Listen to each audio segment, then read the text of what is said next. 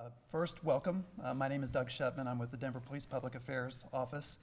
And uh, want to thank you all for being here for this announcement regarding the identification of a suspect in four cold case homicides, uh, three of which occurred in Denver, one of which occurred in Adams County between the years of 1978 and 1981.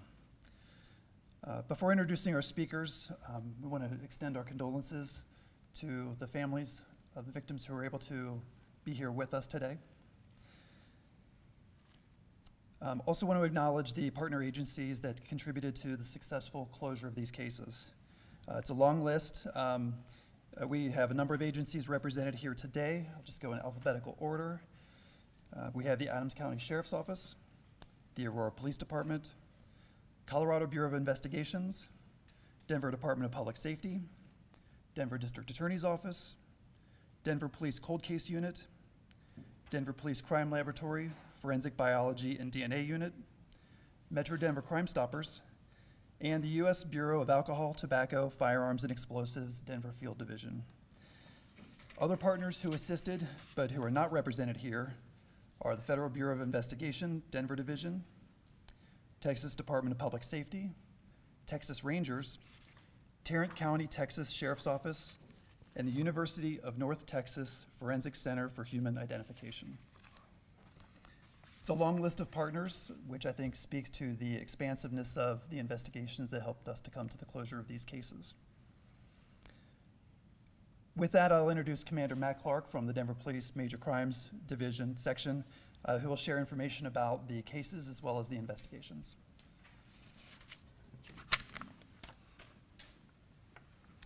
Thank you, Deb. Good morning. Thank you for being here and allowing us to highlight the stories of four members of our community who were tragically killed over 40 years ago. Throughout this portion of the briefing, I want to make certain I honor the victims and respect the wishes of their families. I'll provide an overview of each incident uh, without offering detailed descriptions of the circumstances surrounding each death. While explaining a chronology of the events, I will also attempt to illustrate the incredible investigative efforts and collaboration of various detectives, scientists, and law enforcement agencies that led to the identification of the offender responsible for the deaths of these women. I'll begin by providing a timeline and a brief description of events as we now know them. On Thursday, December 7th, 1978, at 6.15 p.m., 33-year-old Madeline Livaday was found deceased in her residence in the 1600 block of Poplar Street in Denver. Investigators determined the offender entered the victim's residence and stabbed her multiple times, causing her death. On Sunday, August 10, 1980, at 7:10 in the morning, Denver police officers were called to the 500 block of East 17th Avenue on a report of a woman lying in the roadway.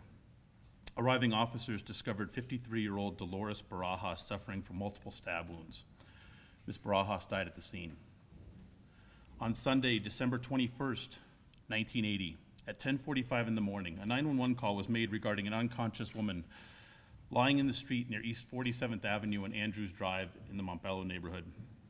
The responding officers located 27-year-old Gwendolyn Harris deceased at the location. Ms. Harris had been stabbed multiple times. On Saturday, January 24, 1981, members of the Adams County Sheriff's Office were called to the area of 64th Avenue and Broadway on a report of a female lying in a field.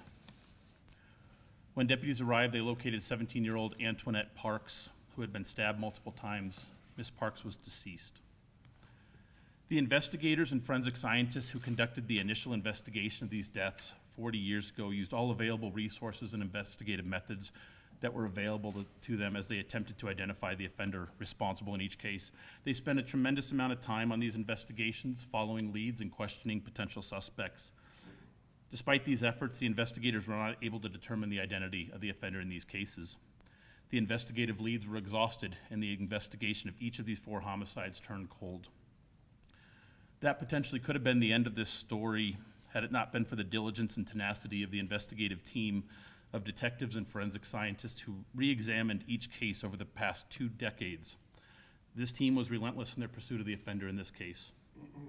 Through funding provided by Denver Metro Crime Stoppers, as well as grant awards by the National Institute of Justice and the Bureau of Justice Administration, financial resources were made available to allow the Denver Police Department to catalog and investigate cold case homicides. Since 2004, the cases involving Ms. Livaday, Ms. Barajas, and Ms. Harris have been reviewed multiple times by several Denver detectives and forensic scientists.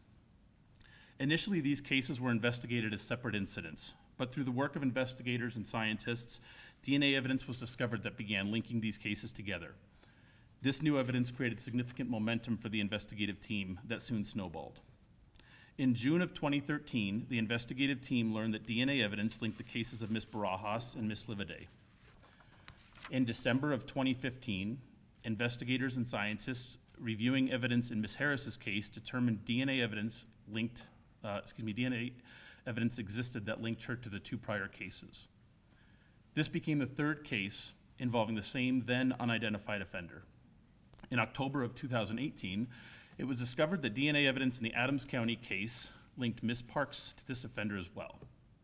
With this new evidence, the investigative team had renewed hope that the individual responsible for these deaths could be identified. In 2019, using in-house investigative genetic genealogy, the investigative team was able to narrow their focus to ancestry of the offender in Texas.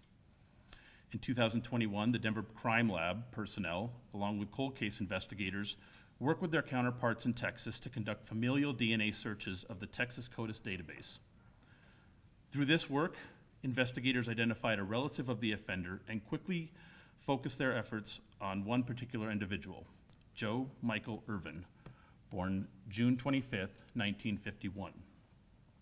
Detectives learned Mr. Ervin died in 1981 and was buried in Arlington, Texas. Countless efforts were made to obtain archived DNA samples to compare Mr. Ervin's DNA to the unidentified offender in the homicides. When all efforts proved unsuccessful, investigators traveled to Texas. With the assistance of state and local law enforcement officers in Texas, a search warrant was authorized to exhume Mr. Ervin's body for the purpose of obtaining a DNA sample for comparison.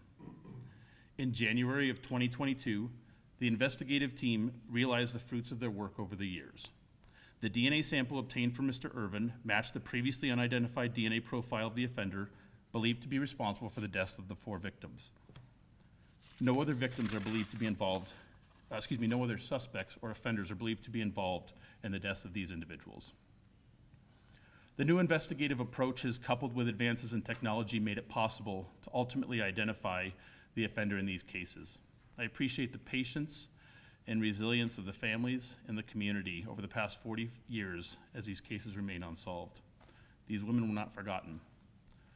I'll conclude uh, by expressing my sincere appreciation and uh, pride in the investigators and scientists that worked on these cases over the years. They invested a tremendous amount of time, emotion, and energy to bring closure to these cases, and each member of the investigative team made a meaningful contribution to each of these cases that ultimately resulted in the resolution of them. Thank you.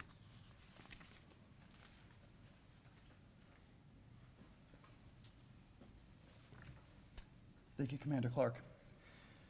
At this time, I'd like to introduce George and Carl Journey, Journey, who are the brothers of Antoinette Parks.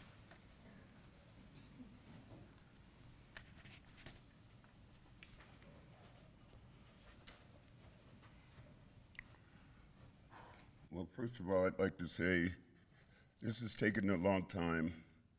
We can finally have peace knowing who did this to my little sister. Uh, me and my brother are the only re- remaining siblings of six children. I wore a shirt today in memory of all my siblings. And I lost these two sisters, they were the oldest.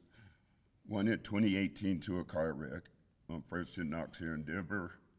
The second one died from heartbreak from the car wreck. Um, my, of course, you guys know my little sister Antoinette died in 81, and my little sister Rhonda, who was her, she passed last year, September 9th, to cancer. So, with that being said, I'd like you guys to know we have closure. We're thankful for the hard work, determination of everybody involved here. I wish my sisters and my mom could all be here to see this. Fortunately, they didn't live long enough to see this, but I know they're here with us in spirit. And I want to say Thank you guys for all coming to take the time to listen to us. Hello, my name is Carl, and uh, you know, like my brother said, you know, it's been a long time coming, and now we can actually, you know, really rest better at night. Like I said, the rest of them, they're not here. Like I said, if my mom or my sisters were here, but I know they are because they're sitting high and looking low, and they're saying right now, "Hey, thank you guys, every last one of you, for everything. Anybody had anything to do with this?" Believe me, they're saying thank you and God bless you all. Thank you.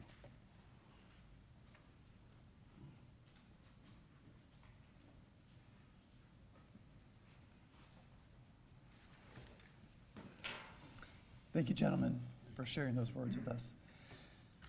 At this time, I'll introduce Molly and Ariel Livaday.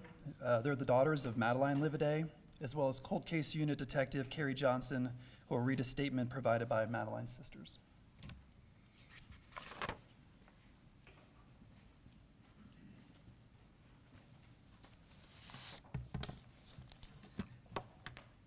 Good morning.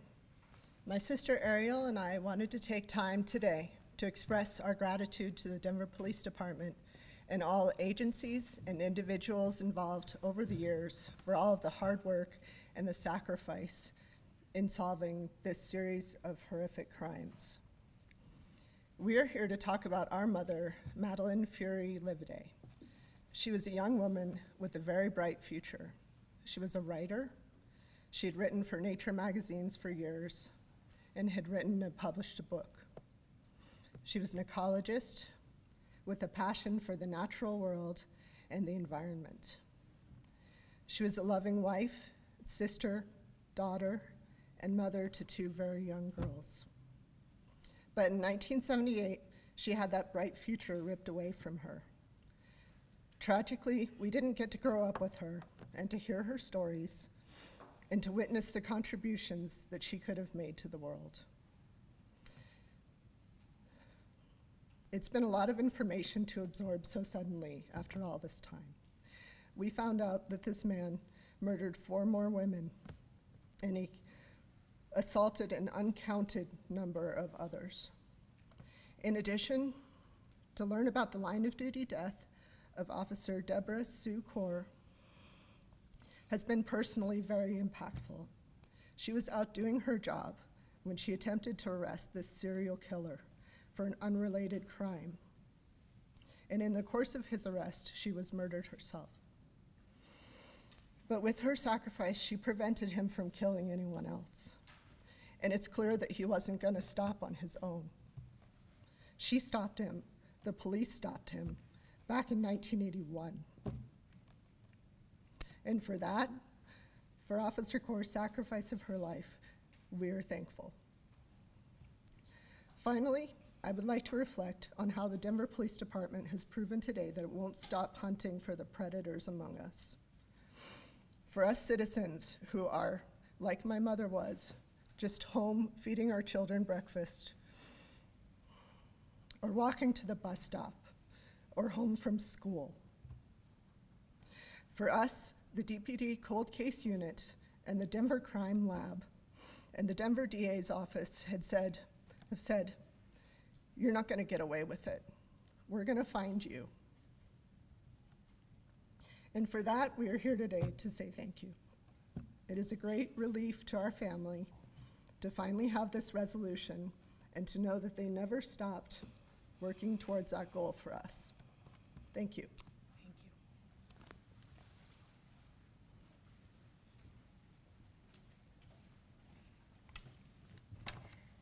Madeline's um, sisters are all out of town and asked me to extend this statement on their behalf. So, on behalf of Eileen Fury Roy, Tess Fury, and Megan Fury Kinney, Madeline had a vibrant and curious spirit. She was fearlessly adventurous and loved traveling as part of her job as an editor of the children's magazine Ranger Rick. She loved learning. Every elementary school report card had a notation saying something like, excellent student, but talks too much. Madeline was fun, and she delighted in her daughters Molly and baby Ariel.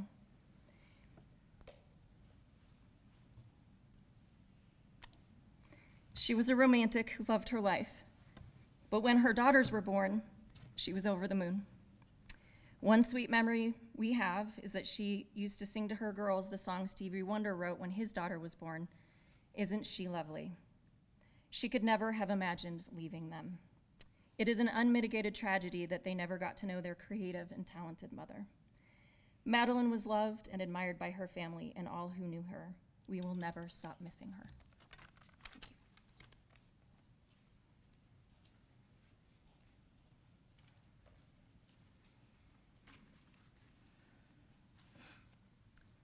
Again, thank you for sharing with us here today who your mom was and why she was so loved by your family and others, especially under these difficult circumstances.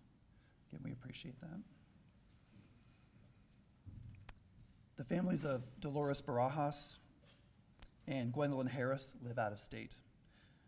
They requested privacy as they processed the developments in, this, in the case, but shared with us these messages that I'll read.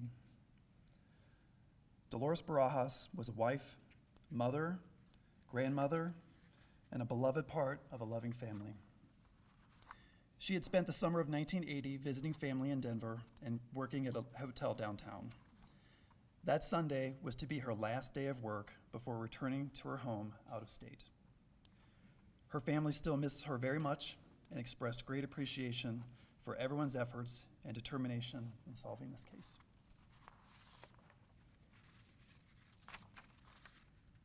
Gwendolyn Denise Harris was a mother, sister, daughter, aunt, granddaughter, and niece. Gwen was a bright, soft spoken, athletic young woman who enjoyed life and always had a smile on her face.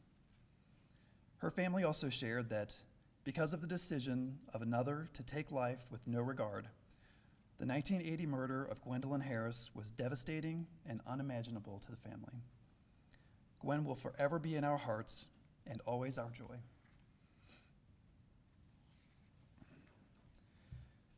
So, as we've previously mentioned, these murders directly impacted both the Denver and the Adams County communities. So, at this time, I'll invite Division Chief Dirk Budd of the Adams County Sheriff's Office to the podium.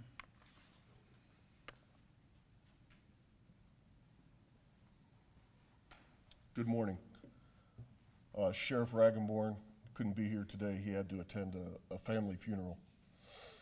But uh, I'm the chief of detectives for Adams County. Um, obviously, I'm very proud of my people, but that is not what this is about.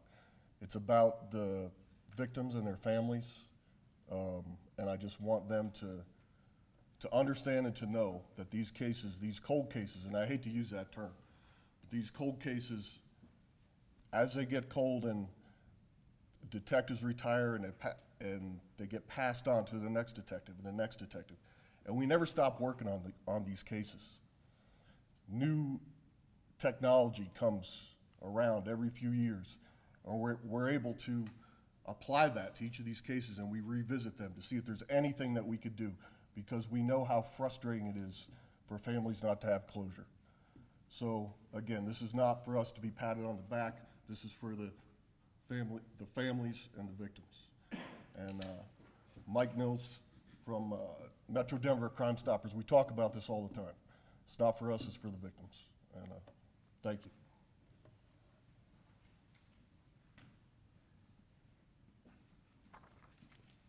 Thank you, Division Chief Budd. Our final speaker uh, this morning is Denver Chief of Police Paul Pazen.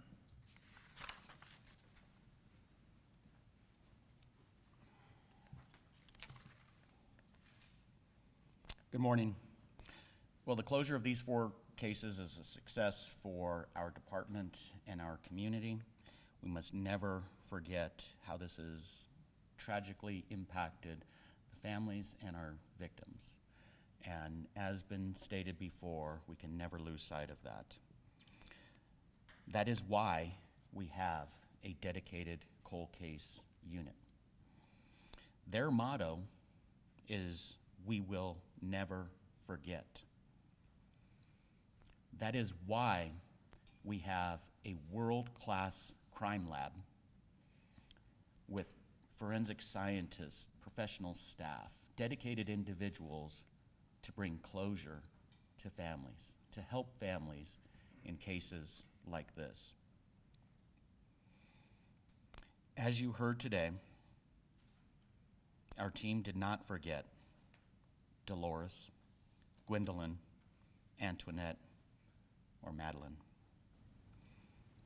We thank each of the agencies that have been involved and all of their hard work the investigators, the forensic scientists, and everybody who contributed on this case for the past four decades. And while the perpetrator cannot fully be held accountable for his despicable actions, we hope that knowing who is responsible can bring some peace to the families. We are committed to using technology to solve more cases, but often there is witness information out there that can help, that can help other families. So today, not only do we remember the victims and their families, but we also have a call to action. A call to action. There are witnesses out there that can help us solve additional murders, that can help families uh, from the great harm that has been uh, committed to our community. Therefore, my plea, my ask, is that if you have any information on any homicide or crime, please come forward. You can do so anonymously utilizing Metro Denver Crime Stoppers. We need to help more families in our community. I do want to thank Metro Denver Crime Stoppers, which generally which generously contributed $5,000 in grants to the DPD for testing and research. Uh, their work has really helped us not only solve uh, this particular case, but several uh, cases. They've donated $41,000 over the years, and uh, it has been very helpful in 16 uh, cases. So, uh, Mike Mills, president of Metro Denver Crime Stoppers, thank you. We appreciate it. Um, now, I'd like to close just by saying, let us never forget these victims. And with that, we'll open it up for questions.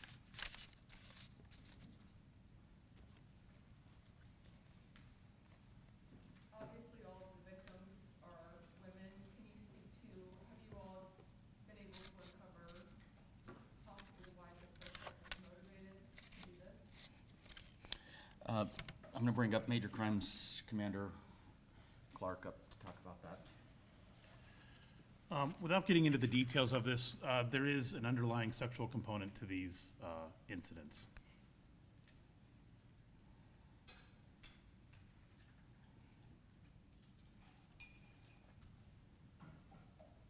You can't talk about, give us some idea what that is? Uh, Out of respect for the families, not- not at this point. Sir, would it be fair to call this person a serial killer? Yes, we would classify him as such. And I know this is gonna sound like a dumb question say, that everything we've seen here today, how this has affected the families and helped them find closure, but why do police officers and police, why do you continue to try to solve these cases years and decades on into the future? Well, as evidence uh, in this case, these, uh, this offender continued his uh, uh, criminal behavior. And uh, we have to continue these investigations. We have to continue to pursue these individuals to interrupt them and, and and prevent them from victimizing anyone else.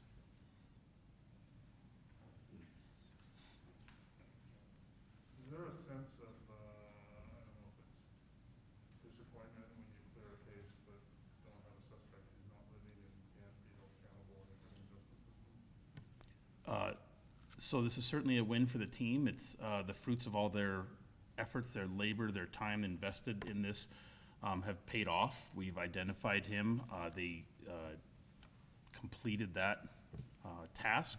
It is tempered by the fact to some degree that uh, we can't file a case with the district attorney's office and see this through and, and see justice and allow the uh, families of the, of the victims to confront him and, and to provide information to the court uh, as well.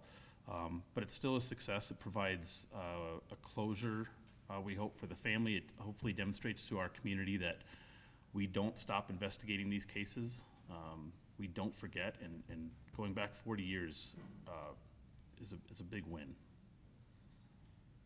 I've heard such positive things about Detective Carrie Johnson from some of the families. I don't know if she'd be willing to answer this question, but I would love to hear from her and what it meant for her as a woman to help shed light on the suspect who brought four women of their lives. I'll let Carrie address that.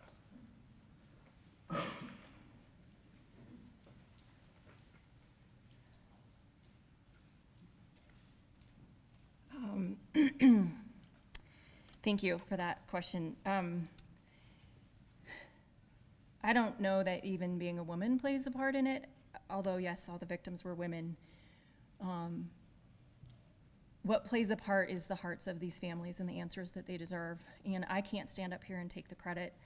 Um, there's an entire team of detectives that are standing behind you. Um, many of them have been involved in these cases way longer than I have.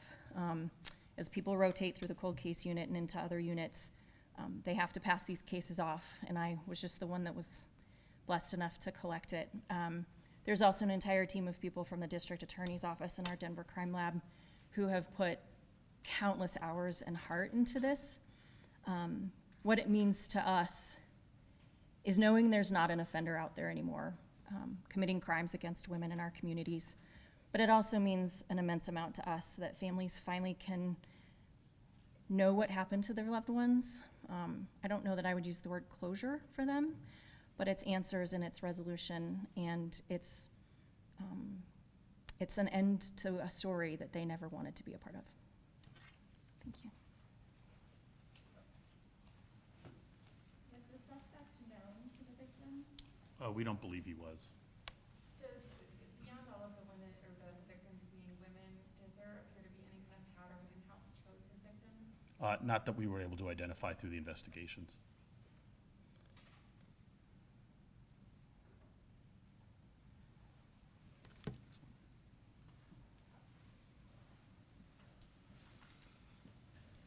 So again, thank you all very much for being here. Uh, For those who have worked on these cases, thank you again for all of your efforts. And again, for uh, the family members who were able to come here today, be with us and share their stories, thank you very much.